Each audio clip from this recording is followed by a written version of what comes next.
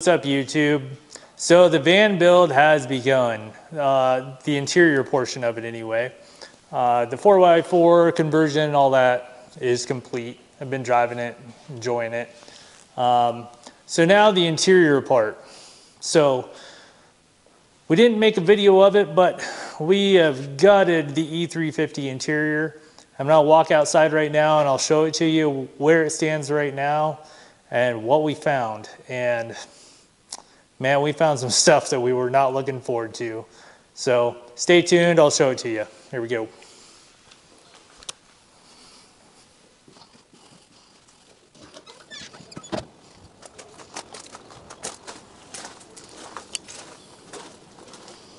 So here's the van as it is right now.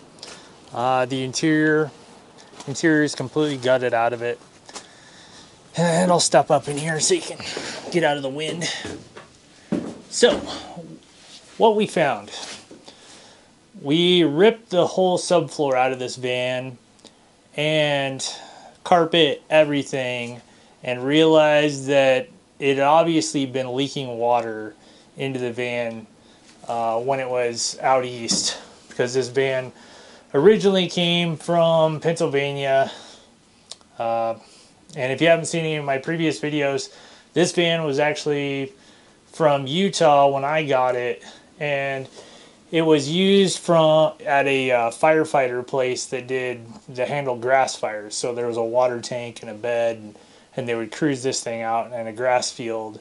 And guys would spray, basically spray the grass that had been on fire, and they would camp in the van if need be if the fire restarted and they could get it put out again. Um, pretty rural part of Utah is where it was used. But before that, the van was in uh, Pennsylvania. I don't know how long it was in Pennsylvania because the same company owned it uh, at that time. So uh, it was kind of a weird deal. So, anyway, long story short, uh, the van's got some rust issues in some spots that aren't awesome. So here, I'll show them to you. So here is one of them. This is the driver's side, uh, one, two, three, fourth body mount back, right beside the wheel well.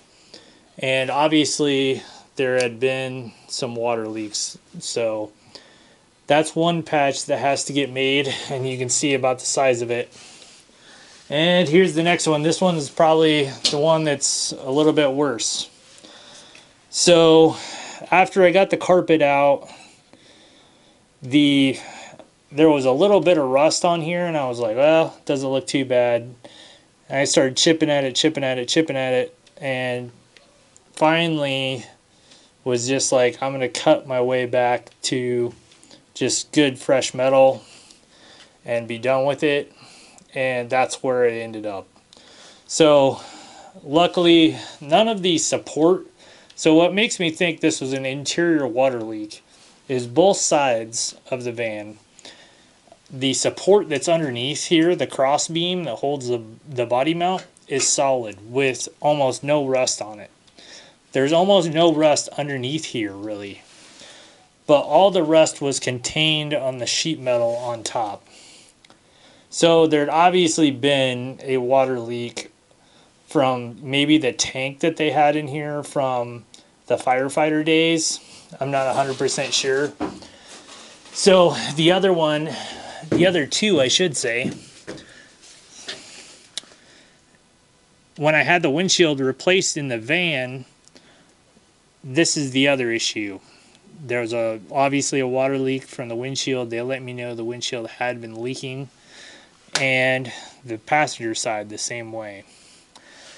So I have to build patch panels for the floor, which is not a huge deal. I just really was not expecting to have to do it on this interior build. I was really hoping when we got this all apart and that I could just literally uh, start building it out. So my wife was a little bit bummed that the uh, this is what the interior turned into, and it's going to be some ser- pretty serious work to do this the way it needs to be done, which is not a huge deal. I mean, I do do this every day, but uh, we just weren't expecting to have to do it because doing these four patch panels, getting it all cut out is probably it's probably a solid two two days worth of work to do it right. So anyway, that is the update video. Uh, there will be more to come on the interior build when I start doing all the sheet metal in here, fixing the rust repairs, and then down the line there will be some update videos on the uh, engine upgrades I'll be doing uh, at the same time. So stay tuned, follow, tag, share, like, all that good jazz, and uh, follow along. Appreciate it.